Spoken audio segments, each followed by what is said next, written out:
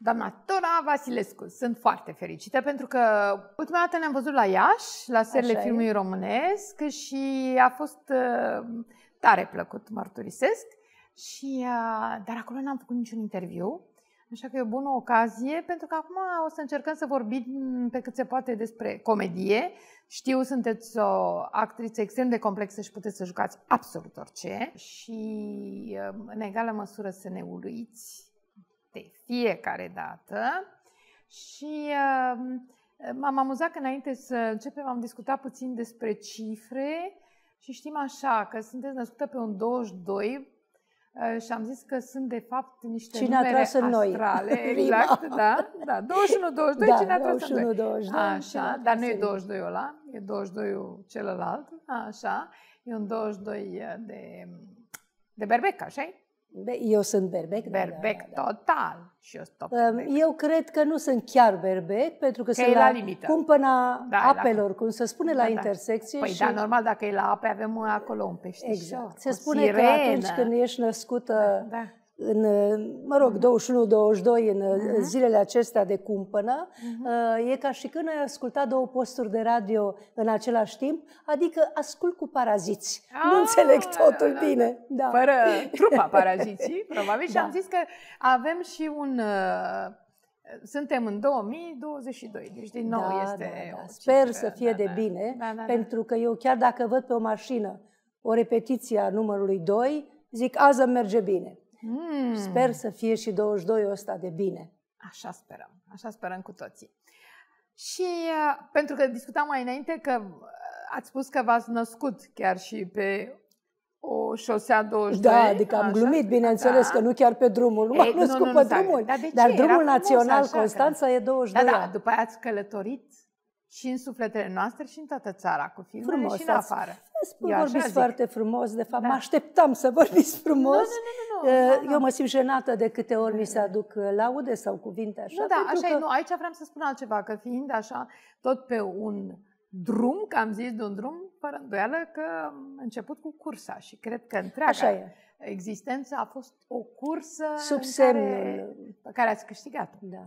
Da. Până, până la urmă. Prima întâlnire... Până la destinația finală am Ei, început mai bine. Are, mai are, stai, da. stai că destinația finală... mai e. Să dea Dumnezeu finală să... era un film sinistru. Să deci fim fericiți în sensul da. zilei în care n-ai dureri. Exact. Nu? Așa mă gândesc Așa. eu. Care a fost uh, primul rol de comedie? Sau poate că a fost înainte, ceva, la școală sau oriunde? Sigur, sigur, sigur. Ia. De la 5 ani mm. sunt pe scenă. Așa. Da, da. Prima poezie pe care am recitat-o la Tulcea, după ce am venit uh, de la, hai să spunem, uh, satul în care mama m-a lăsat vreo câțiva ani la început, pentru că lucra în oraș, mă rog, și m-a lăsat la bunici. Eu am început acolo, uh, mă rog, grădinița, dar n-am terminat-o, am venit la Tulcea și mi s-a dat o poezie în care eu am confundat propriul meu destin. Aha! Deci, dacă nu ai puțină suferință în spate, nu ai o anume sensibilitate. Un actor Mersi. trebuie să aibă și aceste lucruri, nu numai, mm-hmm. uh, hai să spunem, studii, uh, dar e o discuție pentru mai târziu, ce trebuie să aibă un actor. În primul rând, prima datorie e să nu plictisească. De aceea încerc să găsesc alte lucruri să vă povestesc ca să Așa. nu vă plictisesc. Exact. E, și atunci pe scenă am recitat o poezie în care, după cât mi-aduc aminte, spunea că mi-a spus în bloc la noi o tante rea că mama mea n-ar fi mama mea. Opa. Că m-ar fi adus în coș, plângând ca o pisică cineva. Dar eu știu și am început să plâng că e mama mea și cu tare și cu tare. Și m-am trezit în uh, acele ropote, artista noastră, artista noastră și cam așa a fost drumul. Mm. Adică mereu pe scenă, mereu... Și asta mi-a dat încredere că ăsta e drumul pe care trebuie să-l, uh, să-l fac. Sigur că uh, am avut o mătușă care mă iubea foarte tare, neavând copii, care era educatoare, care îmi citea po- poezii, am mai povestit lucrul ăsta, și ce mi-aduc aminte, îmi povestea că tot e cu războiul acum, uh, acel, de, o poezie de Coșbuc în care un bătrân a avut trei băieți și au plecat la război și nu s-au mai întors și finalul era trei doamne și toți, toți trei. trei. Și plângea mm. și eu mă uitam la ea, o imitam și mă, ziceam și eu, am învățat foarte mm. repede. Am avut noroc, o memorie, adică mi-a dat Dumnezeu bună, prindeam da. imediat și le spuneam și eu, trei doamne și toți trei și plângeam, vă dați seama că era, era în amuzamentul tuturor, ca un, un copilaș, așa, un țâzbâști, cum să spuneam, Dobrogea, uh, plânge după cei trei fii morți. Da, da. da cred că era ideea da, de da. înduioșat da, da. și de a înduioșa și pe ceilalți. Și cred Sau că asta e foarte uh, important. La da. bunica, mă rog, uh, pe poarta mare, călare acolo și era cimitirul aproape și tot femeile veneau și își plângeau morților și bineînțeles Plecați. că încep, eu imitam și îmi imitam pe suferințele mele, adică bocetul mm-hmm. dobrogean, ăla îl făceam pe păpuși, pe... Mm-hmm. da. Vreun profesor ați imitat? Sau vreun um, coleg de breaslă? La vreo petrece? Nu, n-am mai mers pe imitație, ci pe admirație. Mm-hmm. Mi-am admirat foarte tare profesoara de română, care uh, s-a ocupat efectiv de, de mine. De fapt, nu mă miră că și eu când văd la Netflix sau la mm-hmm. copii din ăștia talentați care, cum să vă spun, îmi dau lacrimile când mm-hmm. văd câtă sensibilitate și cât talent există în, încă în poporul român. Mi-aduc aminte de celebra, minunata Maria Tănase, mm-hmm al cărui repertoriu știu de la cap la coadă, wow. pentru că la un moment dat mi se promise, mi s-a dat două scenarii trebuia să fac când aveam cam 30 de ani. Uh, odată era comunistă, odată era spioană și nu s-a mai, nu s-a mai Greșit făcut. în ambele situații, da. Și am reținut ceva, da, și am, uh, mi s-a imprimat așa în minte toate cântecele fără să, prin admirație. Adică admiram Dar atât. și o ureche muzicală bună, da, da, am memorie. făcut școală de muzică, da. da. da. Și la, o colegă o întreba și îi spunea, dragă, ce se întâmplă cu tine când te urci pe scenă? Că te transfigurezi, ești altă persoană. La care Maria, populară, cum era, îi spune, am talent, fă! Cu asta te naști. Adică, de fapt, despre asta e vorba. Da, da, da, da e foarte da, adevărat. Da, da. Da, cred că brava când spune asta, că eu cred că era o chestie interioară mult mai uh, subtilă. Era talentul, și comunicarea să, da, cu da, și ființa să, supremă. Absolut, absolut. Da, și da, care e, cântă în continuare, sigur. chiar și, de, chiar și de dincolo. Și după aceea, la facultate vreun rol de comedie? Ceva? Da, da. Uh, la un, primul lucru care îmi vine în minte, adică îmi vin mai multe. De, Muza de la Burdujeni, așa? de Vasile Alexandrina, chiar în anul întâi. Uh-huh. Și mi-aduc aminte că am împrumutat o rochiță de acolo, la care pămblicuțele erau boțite și murdare, mă rog, din... Uh, garderoba lor. Din da. garderoba teatrului. M-am dus la cămin, le-am spălat, le-am călcat și eu, uh-huh. eram un puf după, știi, adică totul era curat, frumos, eu mă simțeam, un actor e foarte important să se simtă bine în costumul respectiv. Uh-huh. Și um, am avut noi succes mare, era un musical de fapt, și cu Eugen Cristea, colegul meu, și am impresia că și, da, ba da, uh, uh, Păslaru, Dragoș Păslaru, mm, care, da, care acum e părintele Valeriu, uh, am plecat prin toate taberele studențești mm-hmm. și pro bono dădeam spectacolul acesta și la un moment dat era în rândul întâi un băiat de culoare Uh-huh. Pot să spun negru, că noi spuneam Ei, da, pe normal, atunci.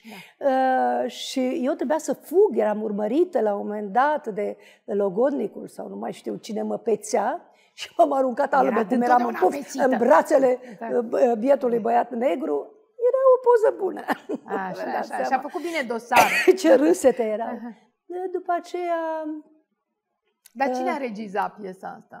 Doamna Eugenia Popovici. Aha celebra profesoară noastră, actrița, da, celebră, foarte mare, a nu se confunda cu Silvia Popovici. Nu, nu, nu, vorbim de domnișoara Cucu, stai așa, așa ca să, da, ca să fie foarte era clar, la fel o nativă. Că dacă ne place comedia și suntem da, la un festival da, de comedie, în mod sigur O actriță excepțională, cine. nativă, dar care la clasă avea argumentele rețetelor de bucătărie și noi râdeam de ea, bineînțeles. Aha, aha. Adică copii, aici nu facem jumări, două în tigaie, facem cozonac, punem toate mirodenile, așteptăm să se umfle. Vă dați seama ce râdeam da. noi, dar ea avea Ce frumos imită, v-am zis, eu am prins-o.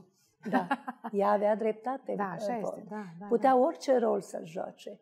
Când am fost la teatru și națion... și Harapalbi era, nu știu, era povestitoarea da, ca să Da, eu știu la clasă, da. cum ne striga, falș, falș, adică simțea falsitatea imediat, pentru că ea avea conexiuni cu subconștientul ei și mai sus. Uh, spunea taci din gură și făcea Fedra, dacă uh, închideai puțin ochii așa și o credeai.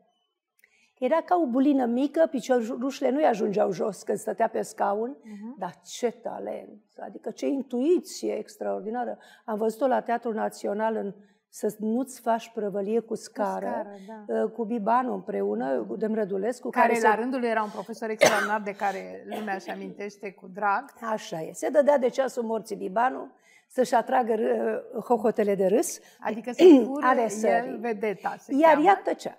Mm. Și molfăia niște biscuiți. Doamne, era atât de naturală, atât de firească. Lumea la ea se uita. În clipa când a deschis gura și a spus două vorbe, erau vorbele pe care ea le spunea la clasă, era persoana normală, aceea pe care o știm noi, firească, adevărată, și iar mie mi-a străfulgerat atunci gândul, ăsta e teatru pe care vreau să-l fac. Absolut.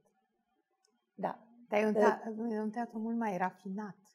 Rafinat altfel decât ne-am putea imagina, un dar dacă teatru, nu ai așa uh, cum profesorul care să-ți dea startul ăsta, e ceva mai complicat. Da. Da. Așa cum un uh, muzician uh-huh. sau un cântăreț când poate cânta fals sau poate uh-huh. cânta melodia, așa și la noi trebuie să înveți uh-huh. pe un text scris de alții, să-ți faci fraza propria ta, adică cu trăirile, nu mai vorbim că dacă nu, nu vorbești uh, graiul inimii, limbajul inimii, împreună cu cel al capului, nu ajunge fără emoție replicată la spectator. Iar uh, când văd așa făcături, adică vrem să demonstrăm rolul da. acesta, vrem să... Eu mă retrag da, da, da. și simt de la o poștă unde e unde omul are, unde actorul are acces la subconștient, așa cum știe subconștientul, creierul ăla care ocolește creierul analitic. Adică creierul, noi avem trei creiere. Creierul analitic trebuie la un moment dat luat în seamă când studiez, dar uitat după aceea și mers pe reflexul ăsta, așa cum faci digestie, cum dormi, cum... Mm-hmm. Când jocul tău e firesc, e normal, e... Simți parcă cineva te conduce din interior sau din exterior. Niciodată nu știm dacă gândim sau suntem gândiți. E, da? Da. E. da. Știa să facă complimente? De exemplu, dacă vă vedea jucând, spunea bravo sau nu? Nu știu, cred că curioasă. cel mai mare compliment făcut de ea, eram destul de slabă. Uh-huh. Îmi vindeam cartela ca să cumpăr o pereche de pantofi. Cum fac fetele tinere Normal. pe vremea aceea, mă rog? Și înainte de examen, într-o zi, cred că ăsta e cel mai mare compliment, m-a chemat în birou, ea era rectorul da. facultății de teatru, singura femeie rector, și a scos 100 de lei, suta aceea albastră, uh-huh. și mi-a spus, du-te și mănâncă la restaurant, să fii bună mâine la examen. Ah, ce frumos! Da. Da. și un gest foarte tandru în urma, da. Da, eu m-am jenat puțin. Avea copii? Nu. Nu, avea copii. Nu, dar cred că ea în sufletul ei m-a, m-a iubit. Am fost într-un fel a, studenta preferată, dar s-a supărat pe mine când m-am măritat. Grav. Așa da. e. a zis, oh, oh, a început războiul ruso-turc. da. Așa primul rol de comedie în film? Sau primul rol drag de comedie în film? Că poate au fost și Drag și eu am încercat să pun uh, drag și pasiune în, tot, în toate rolurile. Mm-hmm. Le iei de la zero. Um, cursa nu pot să spun că a fost nu, acolo, uh, da. de comedie. Uh, primul care îmi vine în minte înainte mm-hmm. de filmul lui Pintilie e cuib, să nu-ți faci cuib de viespi. Aha. Uh, care poate fi văzut și acum. E un absolut, film perfect, absolut da. excepțional. Da. Era echipa de la Teatrul Național mm-hmm. care jucaseră cam 10 ani acest spectacol cu public mm-hmm. și învățaseră toate detalii. replicile la care computer ai, sub, mm-hmm. ai râsetele. Uh, toată admirația atunci. Și i-am iubit efectiv pe Dinica Dar n-ați și jucat pe... cu ei pe scenă. Nu, doar nu, în nu, film. nu. Asta Asta, este, povesteam. Că eu i-am, Aha. de atunci am rămas așa mare uh, fan Mhm. pentru uh, Marin Moraru și Dinică. Uh, nu, juca, uh, mă rog, uh, regizorul a venit la Teatru Bulandra, unde jucam cu Tamara Buciuceanu, a venit să o vadă pe Tamara Buciuceanu și m-a văzut și pe mine și m-a luat uh, da, în rol. Am, lo- am fost singurele două care n-am fost de la Teatrul Național, Mhm. da. Filmul de comedie, tragi, tragicomedie, că de fapt asta e cheia, Marea care îmi și majoritate place sunt, și da. care, da, Mhm. e filmul lui Pintilie, de ce bat clopotele mitică, unde sunt, uh, mă rog, în afară de uh, subiectul piesei uh, O noapte furtunoasă, sunt texte din Caragiale, De ale care în vorbim. ideea că simți enorm și văz monstruos cum Da. era da, replica lui. A fost foarte greu la filmări, n-aș mai face acum efortul ăsta, Nu? nici n-aș mai putea, nu. Mhm. Uh, Dar uh, uh, Pintilie fuseseră, mă rog, uh, 10 ani nu făcuse film, plecase în Franța, Mhm. era un dizident, nu? Și venise cu mare poftă de a juca. Noi râdeam și spuneam, e nefilmat. Da, e Acum ce ne e nevorbit de Da, obicei, da, da. frumos, este Păi foarte ideea frumos, de- o să o ținem minte, da. Trăgeam și 20 de duble și 24 El întotdeauna a de... tras duble foarte multe, Însă- ceea ce s-a moștenit la generațiile următoare. Eu cred știu, că, da. dar e, Da. din punctul meu de vedere, care eram renumită ca actriță de două duble, Mhm. uh, a fost foarte greu. Pentru că devii uh, atât de înfricoșat să nu greșești, că devii o marionetă trasă de sfor perfectă, chiar dacă foarte bine. Da. Și el trăgea 20 de duble, eu știu, aștepta cel spontan, pentru că nicio tehnică nu se compară cu spontanitatea atunci când a dat motor. Da. Eu me- uh, păstram un mic secret, mereu mai făceam ceva mic în În plus, plus. sau un minus, ca să fie diferită de dubla a doua, că nu știi. Deci se Nu spune știi că ce dubla a doua dublă. de obicei e dubla perfectă. Se Da, spune. spune. Mă rog, cred e că ca sunt și cu doar iubirea, legende. adică da, da. poate să fie cea Da. mai mare prima sau a doua, depinde. Aha, uite, nu m-am gândit să le împart așa, da? Da, da, mă rog, că tot vorbim de Da, da, da, pasiune, da, de da, da, da, iubire, da. dar e foarte greu când, de exemplu, la filmul lui, uh, mă rog, nu e de comedie, dar Mhm. uh, filmul lui Vaieni, Imposibilă iubire, la un moment dat am tras vreo șapte duble.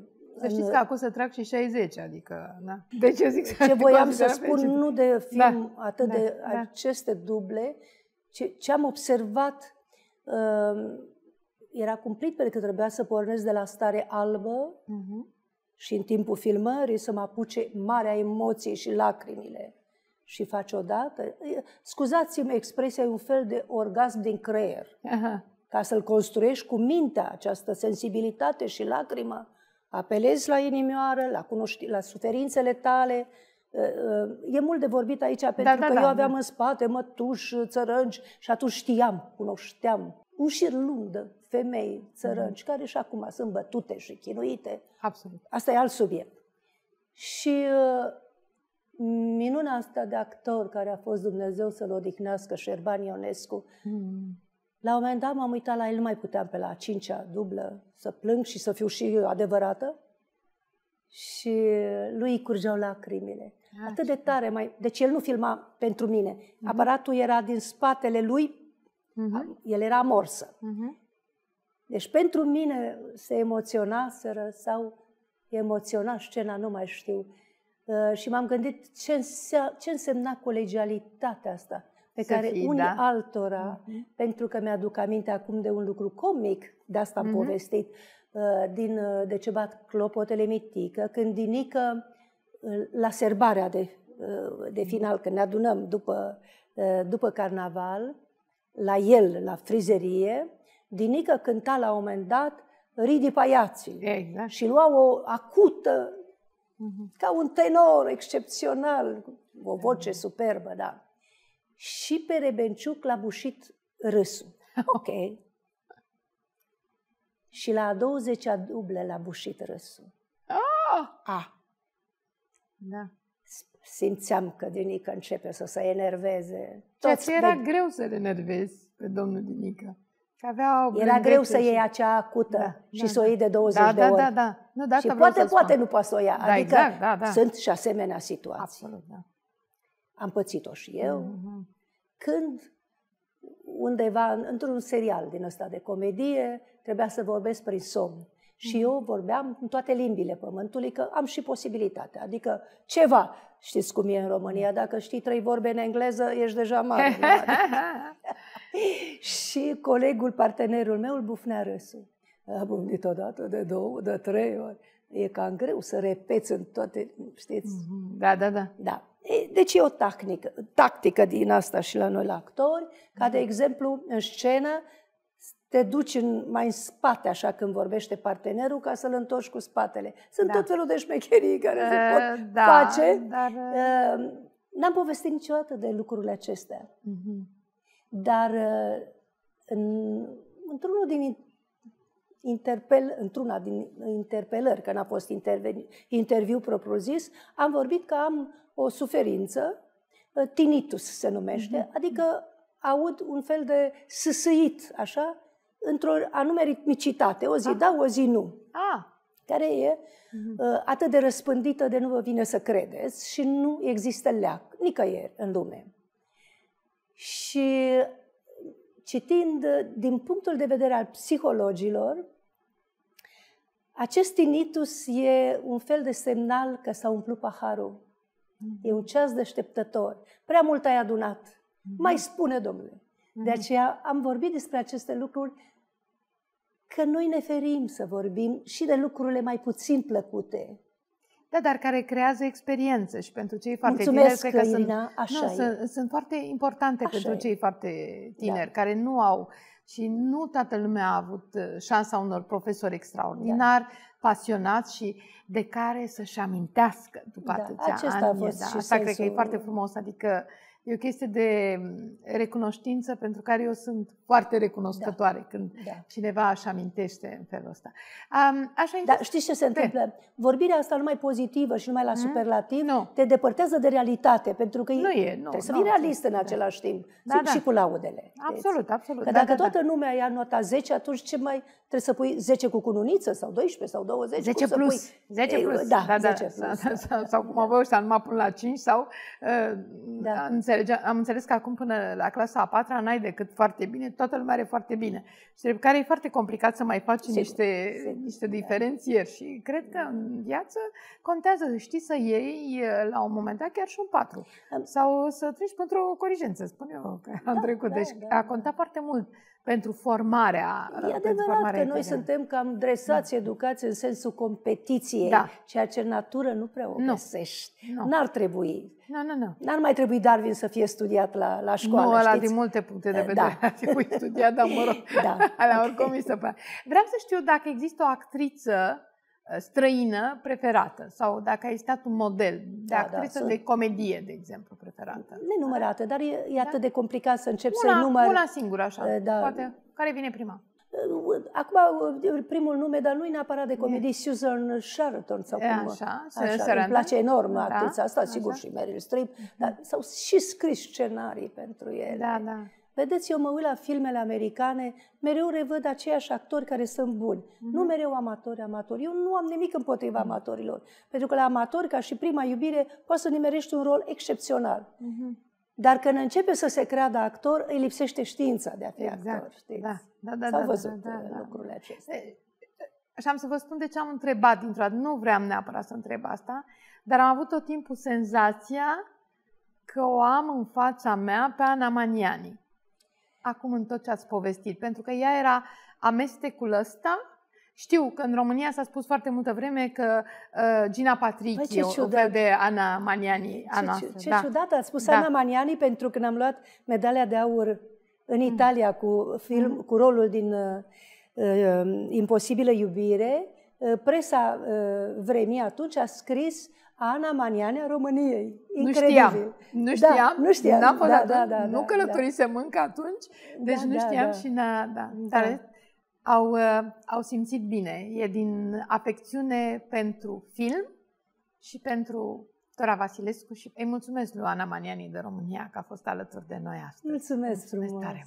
Da.